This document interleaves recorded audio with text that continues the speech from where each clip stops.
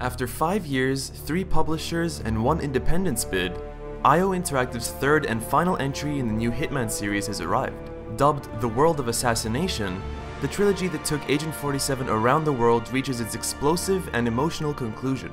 Hitman 3 starts among Dubai's clouds, in the heights of the world's tallest skyscraper. The Scepter, a reference to the real-world Burj Khalifa, is hosting a special ceremony where two of 47's targets are located.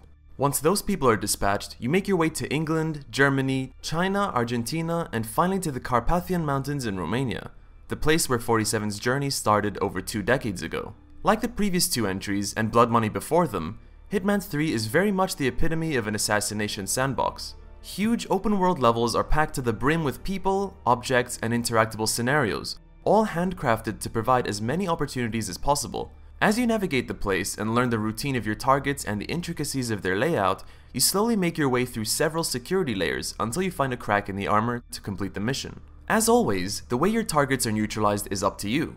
If you want to drop a chandelier on their head and make it seem like an accident, shoot them in the head with a silenced handgun from behind execution style, or reach out and touch them with a sniper shot from a mile away. The specifics of the kill are always your choice.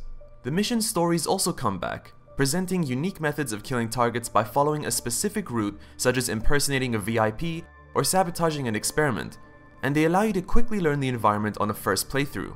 Unlike the first game, Hitman 3 is a complete title. There are no episodic releases and you're able to experience the game from start to finish on day 1. Due to the heightened emotional focus and higher stakes of the third entry, there's not much that can be said about the plot without severely spoiling the story but it suffices to say that the story has never been IOI's high strength, and that hasn't changed here. The tale of Providence and their behind-the-scene world conspiracy has always been remarkably uninteresting and pointless in a game all about murdering bad people. And IOI twists in this game are both visible from a mile away and end up dangerously close to ruining established fan dynamics. The missions themselves have the same standard of quality as the rest of the trilogy, presenting lavishly handcrafted environments that are a joy both to behold and explore. Interestingly, the game ends up throwing you some curveballs, ranging from going into a mission without knowing how many targets there are, or having a slightly more cinematic and linear experience in a couple of levels. As the final entry, Hitman 3 is considerably more focused on the story, and the need to pack an emotional punch ends up removing some of the player's autonomy in a way that may or may not bother some people. Technically, the game is remarkably competent. Despite being absolutely gorgeous both in graphics and art direction, the performance is superb even in 3-year-old GPUs, an incredible feat when you consider just how much physicality there are to levels. From a more artistic vision perspective, Hitman 3 also succeeds in making the whole trilogy seem like a single cohesive experience. The art style, the menus, and the return of amazing voice actors such as David Bateson, Jane Perry, and John Hopkins contribute to create a sense of belonging that many games, and especially their sequels, frequently struggle and fail to achieve.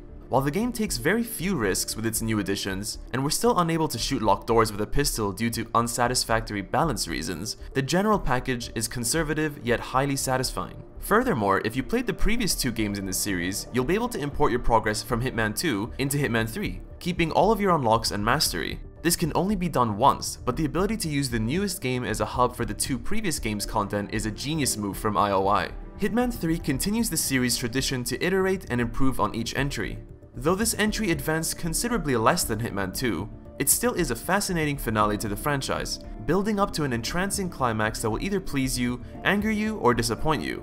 Either way, some things in life are worth it for the journey, and Hitman 3 is one of those things. Something that should just be experienced for what it is, and not for where it takes you.